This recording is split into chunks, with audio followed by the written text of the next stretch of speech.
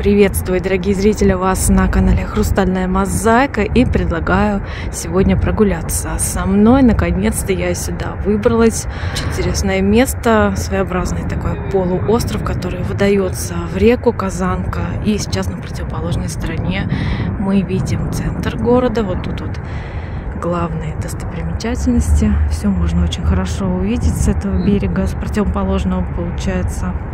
Но на них я заострять внимание сегодня не буду, потому что у нас на повестке дня не менее интересное здание. Мы те, кто хотя бы один раз был в городе Казани, и тем более мои земляки уже догадались, о чем пойдет речь. Вот тут, кстати, можно прокатиться по реке. А речь у нас пойдет вот об этом уникальном в своем роде здании. Не только о нем, но и о скульптурах, которые его окружают. Но это в первой части видео. А потом у нас еще довольно-таки насыщенная программа нам предстоит. Поэтому не переключайтесь. Я постараюсь, чтобы вам было интересно. Итак, мы у центра семьи Казан. Так официально называется здание и учреждение, которое в нем расположено. Как-то в беседах со зрительницами канала мы его обсуждали. И я обещала прийти сюда поснимать. Вот выполняю, получается, свое обещание. Побываем сегодня с вами внутри, я покажу вам зал для торжеств. Здание абсолютно символичное, начиная вот с такой его необычной формы и заканчивая множеством деталей. Бурятский архитектор довольно оригинально справился с поставленной перед ним задачей. Когда в процессе строительства облик здания уже можно было вот таким вот увидеть, как мы сейчас его видим, было множество негативных отзывов в его сторону – я помню свои впечатления, когда увидела чашу впервые. Кстати, чаша это не официальное название, так мы казанцы, да и гости нашего города сейчас уже называют это здание. Так вот, тогда я пребывала, мы проезжали мимо, и я пребывала в каком-то просто изумлении. У меня был единственный вопрос, что это такое. Но это явно не был негатив, это было любопытство. Но на сегодняшний день город без чаши уже невозможно себе представить. Помимо того, что это достопримечательность, это еще и главный дворец бракосочетаний. То есть здесь рождаются новые семьи и немножечко поговорим с вами об архитектуре этого здания. Мы видим казан. Казан это традиционный литой котел для приготовления пищи и находится он над пылающим огнем. То есть тут воплощен образ домашнего очага, и посмотрите, вот эти вот арки, заостренные кверху, символизируют языки пламени. Ну и, собственно, сам котел, вот еще раз вам его показываю, где проходит орнамент, тоже необычный, упомяну об этом дальше. Там окна залов для торжеств, а выше смотровая площадка, тоже с вами туда сегодня поднимемся. Обычная для этого места картина, и согласитесь, это же так прекрасно, свадебная фотосессия на фоне заката. Пусть молодые будут счастливы. Итак, казан как символ домашнего очага, тепла, уюта и есть у него хранители. Крылатый барс – это символ Республики Татарстан, воплощающий в себе всю мощь татарского народа. Он изображен на гербе республики. Скульптурная композиция из двух крылатых барсов, он и она охраняют чашу со стороны реки. Это семейная пара, где он воплощает силу и защиту, а она – оберегающее потомство. Для татарского народа животное является священным. Еще во времена Волжской Булгарии использовался этот символ, и одно из племен носило имя Барсил – а изображение животного с крыльями означает приближение его к небу и к счастью. Скульптуру она мы видим с потомством и существует поверье, если потереть хвост одного из детенышей исполнится желание.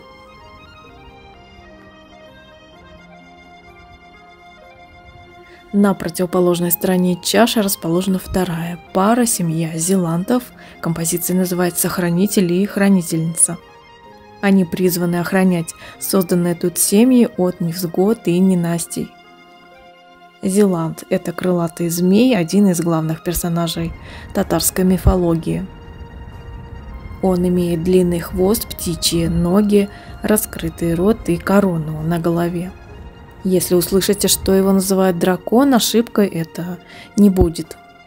По существующей легенде, для того, чтобы остаться в этих местах, змей идет на сделку с человеком и становится хранителем города. Поэтому Зеланд, или вам, чтобы проще было запомнить, дракон – главный символ города Казань.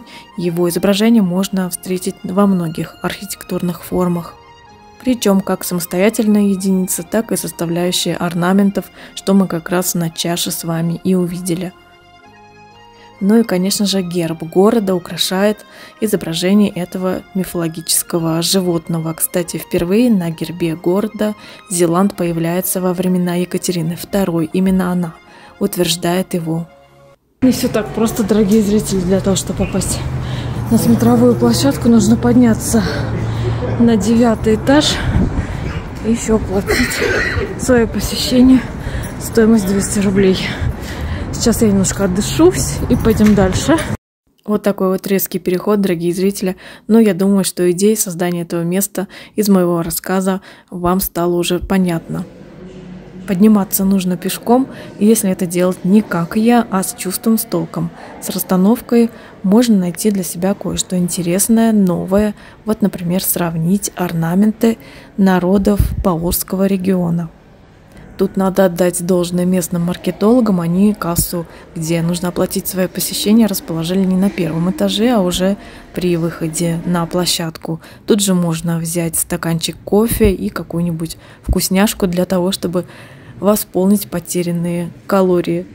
Это первый ярус смотровой площадки, по сути, металлическая стена с круглыми решетчатыми в ней окнами, которые прекрасными декорациями служат для фото. Вот посмотрите, сюда люди садятся и с ногами, и без, и встают в виде звездочки, и множество других вариантов для фото можно придумать. Снизу мы видели с вами эту часть здания. На саму площадку поднимаемся еще чуть выше, и я подхожу к самой ее середине.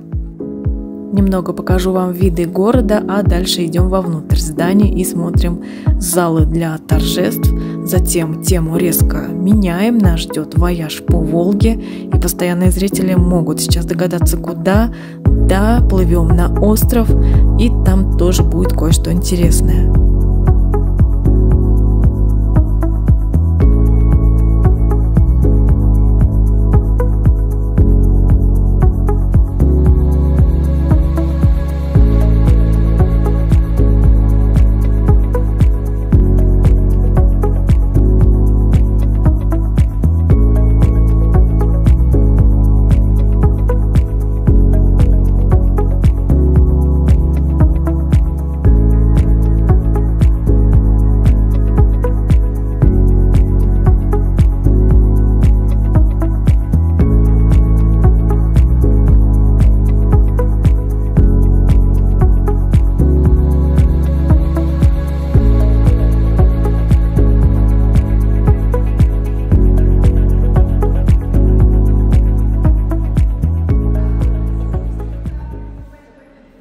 Находимся в просторном холле. Пирамида – это купол цокольного этажа. А кроме всего, холл украшает вот такая вот люстра. Она не была включена, потому что находилась на техобслуживании. Поднимаемся наверх, в этом случае на лифте, и перед нами входной зал. Я была тут в составе эксклюзивной экскурсии. Обычно никаких экскурсий тут, конечно же, не проводится, а помещения служат лишь по прямому их назначению – Обратите внимание на окна и силуэты зелантов. В них это тот орнамент, который мы видели снаружи. Кроме привычных атрибутов, пожалуй, любого зала для регистрации бракосочетаний, необычная тут, собственно, форма этих самых залов –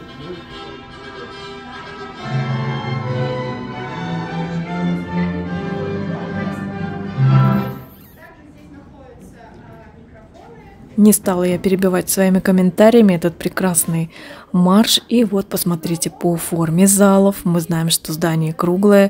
И кроме того, стены неровные. Вот это вот внешняя стена, где окна. Поэтому получается интересная форма. Роскошные залы, что уж там говорить, без лишних деталей, в то же время невероятно торжественная атмосфера. Заглянем в комнату для жениха и невесты, и всего торжественных залов три мы посмотрели с вами серебряный. А далее у нас зал восточный с преобладанием зеленых и бирюзовых оттенков. Стены его украшает панно с национальным орнаментом.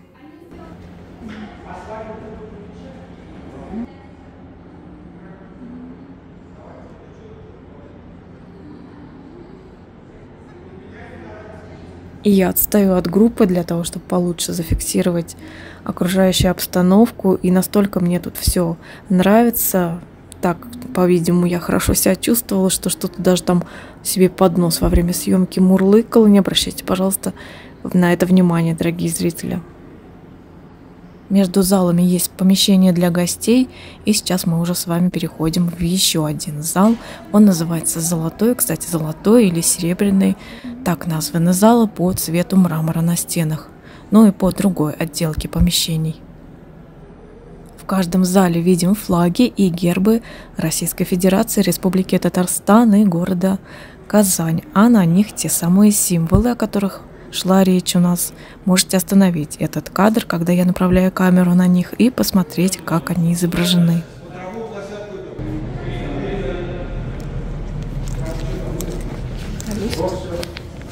А, он имеет Сейчас аккуратно. Спроси цену, ладно? Есть любовь вечна.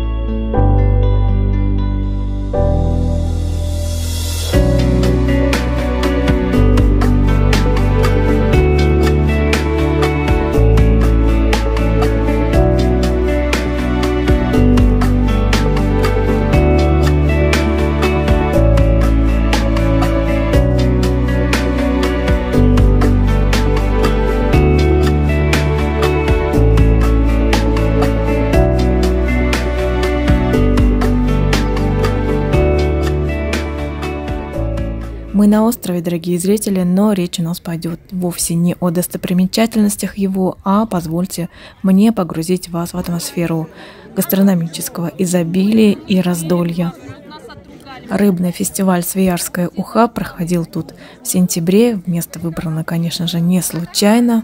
Ведь на месте встречи трех рек тема рыбной ловли и приготовления различных блюд из рыбы, в том числе ухи, как нигде, пожалуй, популярно. Сейчас я подошла к столам конкурсантов.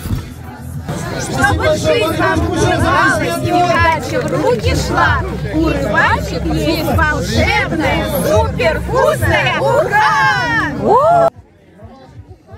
Каждая из команд готовит уху по своему уникальному рецепту, а жюри затем оценит, что получилось и выберет победителя.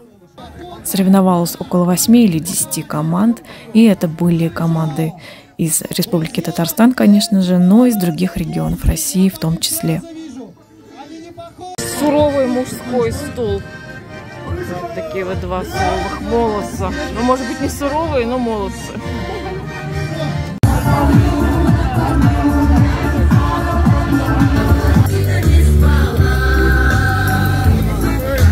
Конкурсантов оставим готовиться, а я прохожу теперь по торговым рядам. Что же тут интересненького?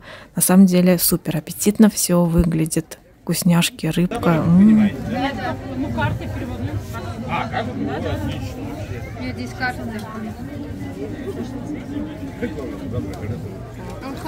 Правда, вот супчик с внешним видом, на мой взгляд, слегка подкачал, но, наверное, вкусный. Я попробовала запеченного судака, но, если честно, так средненько. А это уже жюри пробует и оценивает приготовленное блюдо, а затем уха раздается всем желающим по бесплатным талончикам.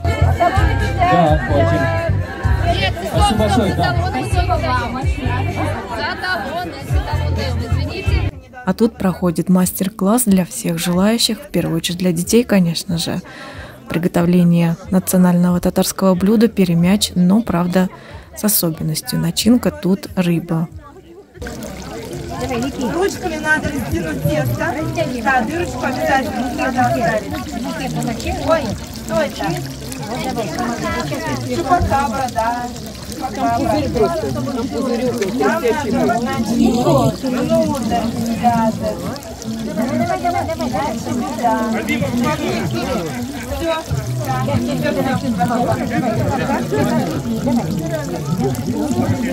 Кто приготовил, уже можете забирать. У нас вторая порция пельмечей готова. Сейчас я встану. Отлично. Давайте я вам Обязательно так, вот так вот Нормально. А вот на этом мастер-классе, дорогие зрители, я вас и оставлю. Посмотрите, возможно, кто-то даже на заметку возьмет такой рецепт, довольно простой, но эффектный.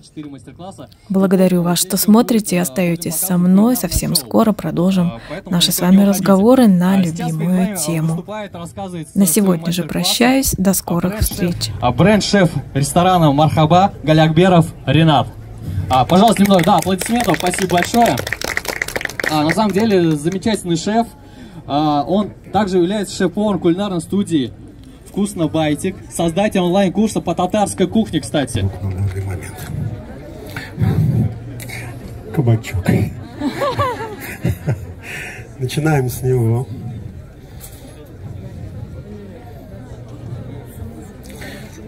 Помидорчики.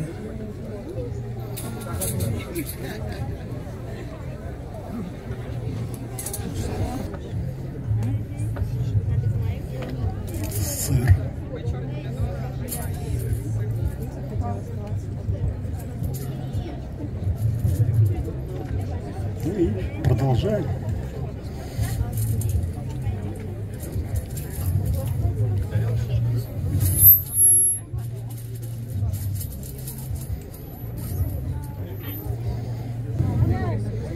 Картинка красивая, да ведь?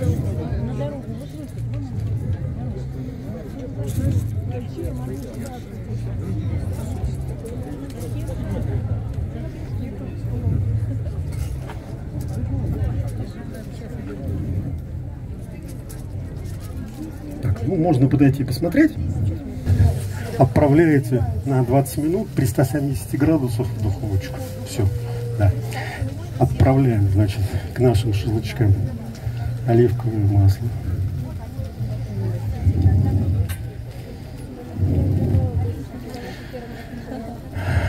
Заправляем специи.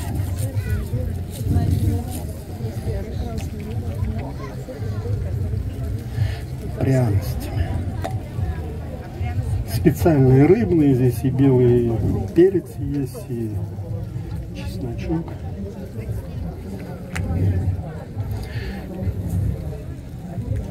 Обычно я не солю, потому что здесь уже сыр соленый, да, но я все-таки немножко посолю, все-таки сказали вообще не солить.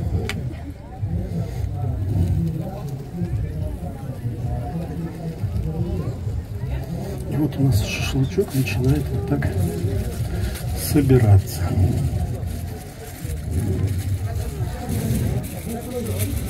Очень удобно. Можно дома заранее приготовить, приехать на природу со словами «сейчас буду готовить». Она уже у вас. Вот в таком виде. И хранится хорошо, и,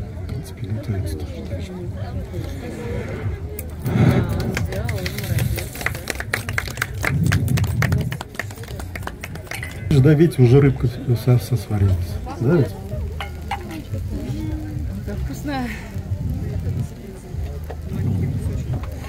И пассерованный то, что здесь у нас, уже мы отправим.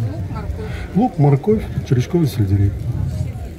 Вот, в принципе, то же самое, но уже термически обработан. Уже Вопрос, можно бульон из чего? Куриный. Ой, в смысле, рыбный бульон из головы, из... Вот как форели раз... Э, разобрали. Единственное, что мы не используем, это только жабры. Все остальное здесь и чешуя, и ну, все там, и кожа, и голова. Даже чешуя, да? Знаете, я могу сказать, что были времена, когда дороже черной икры был рыбий клей карлук. В нем было больше полезных веществ, и он собирался как раз со слизи с чешуей. И если вы свежую рыбу поймаете, свежую рыбу поймаете, не надо ее чистить. Вы ее сварите, потому что как раз свежей рыбе чешуе больше пользы и вкус бульона лучше. Через некоторое время, если вовремя не убрать эту рыбу, там чешуя твердеет, и она становится невкусной. А так лучше готовить прям поймали сразу. Да.